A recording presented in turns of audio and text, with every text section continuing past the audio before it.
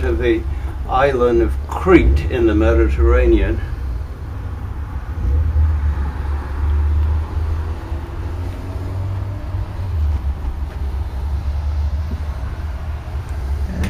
Now Tom's going to bring you up to the second floor of his house.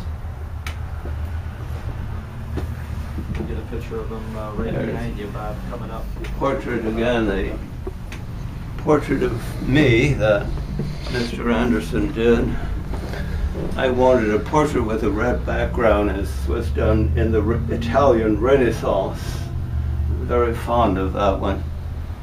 And he did, again for the Knights of Columbus magazine cover, a risen Christ holding the palms. And, uh, vibrant, friendly, risen Christ.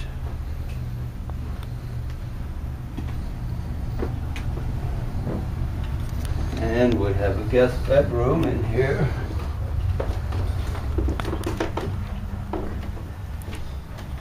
A four-poster bed with a tester with a net.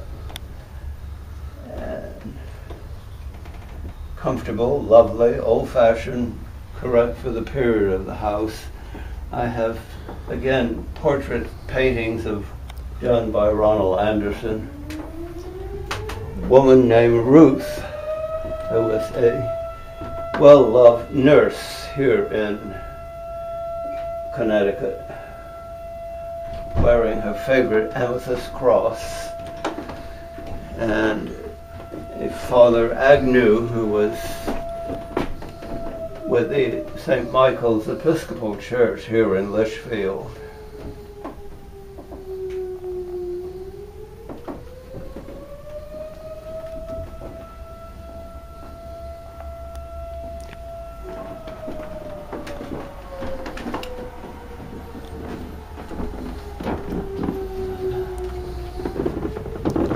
We have a portrait by Anderson again of a young woman.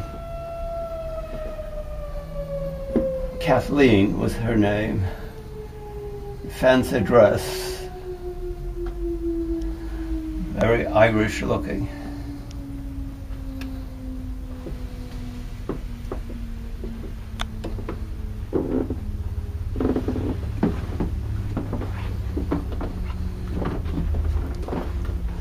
I don't, I don't know if you want to come in here.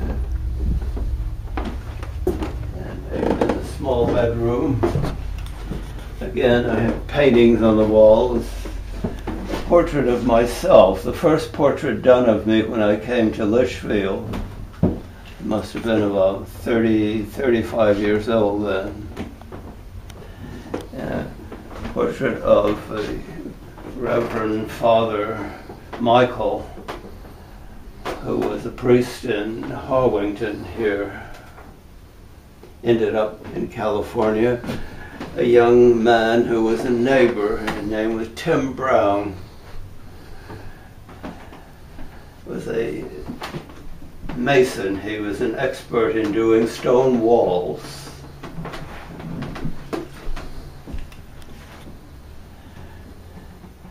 And we have another portrait of young John Wolfe,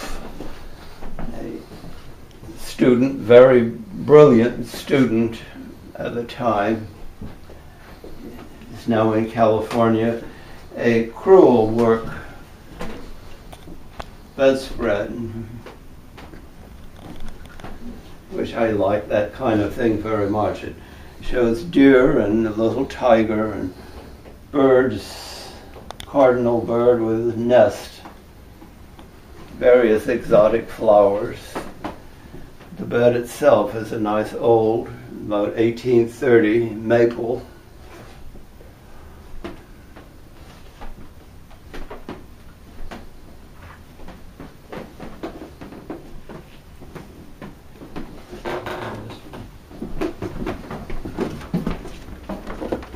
We are still discovering uh, paintings. Come on in and look behind the door.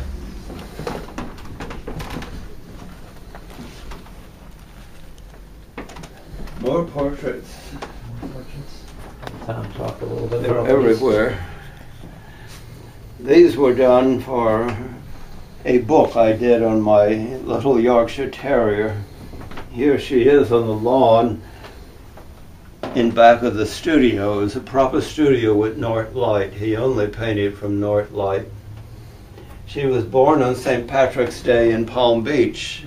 So we have the allegorical St. Patrick blessing Palm Beach, where the blessed event it was called. This painting was not yet completed, but it showed where we stopped in Washington, D.C., and the dog admired the cherry blossoms. And the one Tim is holding shows Patricia and her mother and father in Palm Beach. And again, when, again from the back garden, there was a cat named Patches, which she loved to chase up on the on the into the tree. Altogether, there were probably 20 paintings on the dog's story. I also have a portrait done by Ann Schuler, who was one of his teachers in Baltimore. That's the portrait of Ronald Anderson when he was about 17 or 18 years old. He had already been recognized by the Metropolitan Museum as one of the most talented young painters in the country.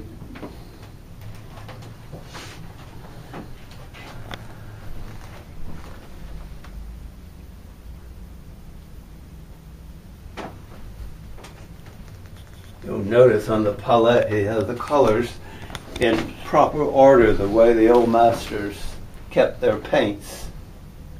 Never a messy palette. He didn't wear a smock because he said paint belongs on the palette or on the canvas, so he never spilled or had it on himself. Have Tom explain the prints to you, Bob. European prints, Dutch, German.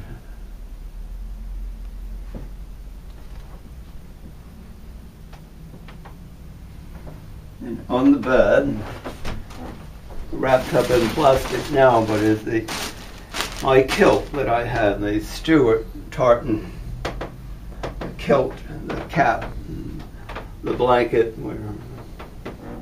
There is a Scottish festival every year in Goshen. It used to be here in Litchfield, and we would get dressed up in kilts. Great fun. Behind the door here, Bob, we have another discovery of uh, more paintings by Mr. Anderson.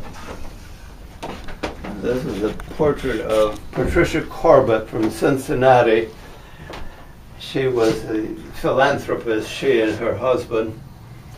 Uh, most of their money was spent in the field of music, particularly opera. Uh, the portraits that were done for exhibition.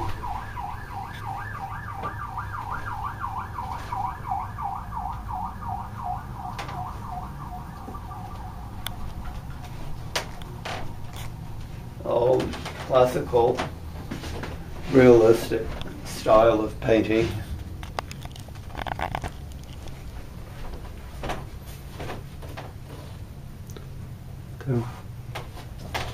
What would uh, Mr. Anderson uh, charge for a sitting like this, Tom? Um, painting that size was usually five thousand dollars.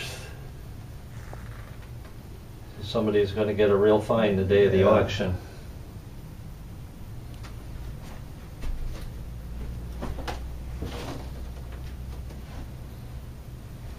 Remember this one, Tom? She was an actress at the community playhouse here in Litchfield. I don't remember her name. I only met her once. Striking pose. Okay, Tim? Yep. Again, uh, visit timsauctions.com for our June 5th on-site Litchfield auction featuring the collection of Thomas McBride. That's a wrap.